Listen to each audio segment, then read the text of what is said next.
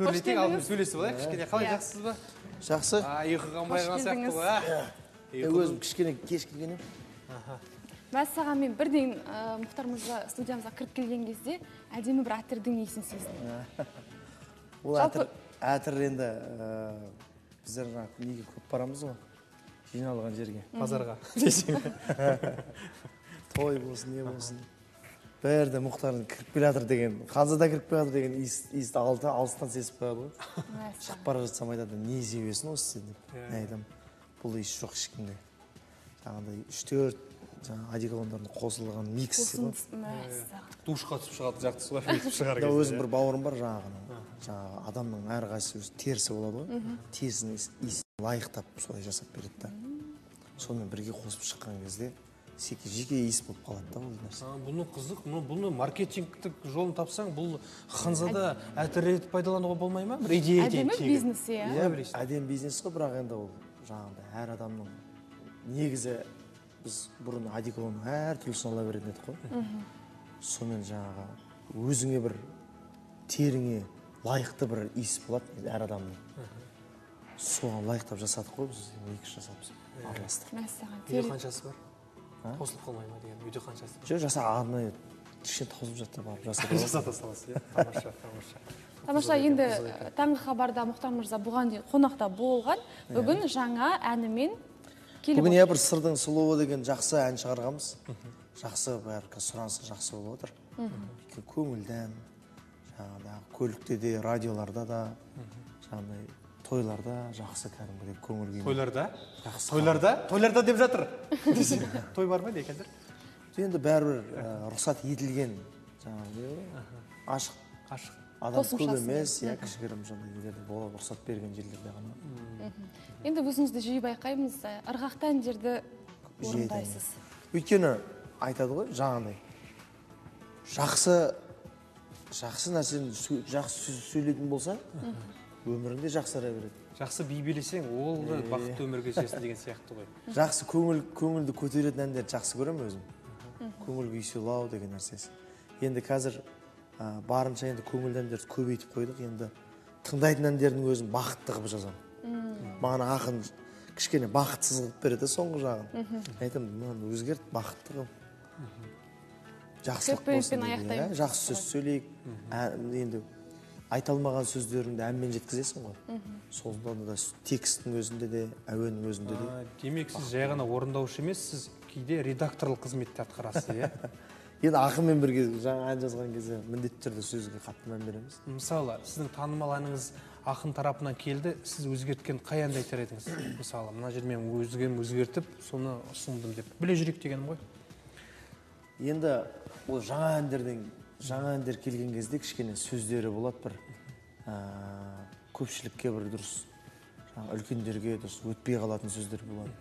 Бір, тым әдеби иә? Иә. көркем әдебиеттің тілімен. Біреуі жаңағыдай көше се- көшенің сөздері болады ғой. Сондайдың сөздерімен жазып жүрген кезде кішкене өзгертейік бір кішкене ортаға бір мен ертең ұят болады мынаны айта алмаймын деп. Қайтарған кездер қатты көркем әдеби стильде емес және қарапайым қарабай қарапайым сөздермен әдемі сөзбен толықтырып жібереміз ғой. Музыкаға келгенше музыка ритм. Музыкаға келген кезде композиторлар көп неше түрлі әндер жібереді маған. Бірақ мен ә- мелодиясының ішіндегі әуенді тыңдаймын. Әуені кішкене тартымды болу керек ырғақты болу керек.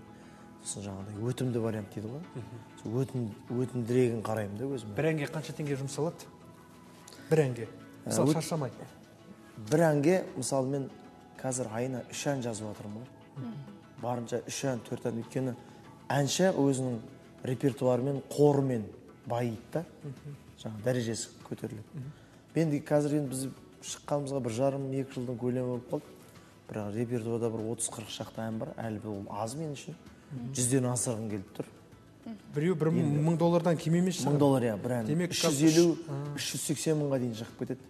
Бір әніміз сосын қарап отырсаңыз енді бұл енді көбісі ойлайды бір керемет жаңағыдай ән шығара береді мынау бірдеңе деген сияқты, сияқты. оңай дүние сияқты нәрсе да бұл мысалы кеше мен осы таңғы хабар деп айтты. Таңғы хабарға кешікпеуге тырысамыз. Бірақ түнімен студияда болдық өйткені жақсы анау. Жақсы әнді де шығару өте қиын да. Бір аранжировканы жасап болғаннан кейін әбден бітіргеннен кейін ұнамай қалады. Өшіргізіп мен қайтадан жазатқызамын да. Мәссаған сіз кәдімгідей аранжировщиктердің қасында отырамын мен барынша. Қиын. өйткені оларда анау бітірген өзінің жұмысын қайтып ашқысы келмейді да барлығына. Сондықтан да ішін шұқыламай ақ қояйық өшіріп тастап қайтадан жасайық деп. Мәссаған кикілжің конфликт төбелес ондай айқай болмайды өйткені ол мен жиі өзімнің жаңағыдай жазып жүрген қаражатын төлегеннен кейін. Қаражатын қайтып төлейсің ғой. Қайтып төлейсіз? Иә жақсы шығу үшін. Талғам. Бұл талғам. Талғампаз әнші ретінде бірінші танып отырмын. Таң қалдым. Иә ол көңілінен шықпаса өйткені ол өзің көңілің шықпай қалған дүниені халыққа өткізе алмайсың. Өзің жақсы көріп өзіңе өтетін болса басқалар да дұрыс қабылдайды. Сыр сұлу несімен ә, сырдың сұлуын екі рет жасаттым. Бірінші дүние жасалған кезде ә, аранжировкасына екі рет шығып кетті ол интернет желісіне. Біріншісі шыққан кезде көңіліме толмайды да анау жаңағыдай орындасам бір жетіспейтін дүние сияқты болып тұрады. Бірақ басында анау тәтті ән болғасын бір анау қатты көңіл аударылмай қалды ма аранжировкасына? Ана әні әуені мелодиясы әдемі болды да сонымен шығып кете салды. Сосын кейіннен қаттырақ мән берген едім ішіне жаңағыдай живой гитарасын қостық аспаптарын қостық. Жаңағыдай ішінде бочкілер дейді осының тәтті басталуы өлеңнің бірден басталып кетуі ырғақтың жаңағыдай әдемі ырғақ беруін бәрін қайтадан жасатып кеше жақында үш төрт күнде қайтадан шығарып жүрдім кімнің кімнің әні төрехан совет деген осы қызылорданың жігіті өзі қазір жақсы әндер жазып жүр сол бауырымыз төрехан советке тағы да әндерді жіберіп қойды әдемі соны құдай қаласа енді жарыққа шығару керек қазақ эстрадасының хитмені деп айта аласыз ба жоқ енді ол әр сіздің нәрсе жұлдызыңызды жаққан да бақ та негізі олай айта алмаймын ол солай емес пе деп айта салмайсыз енді әр негізі бақ та басыңа келген бақ дейді ғой біреу. Бақша ма бапша ма? Ол бақ бап баптанбасаң қалай бақ?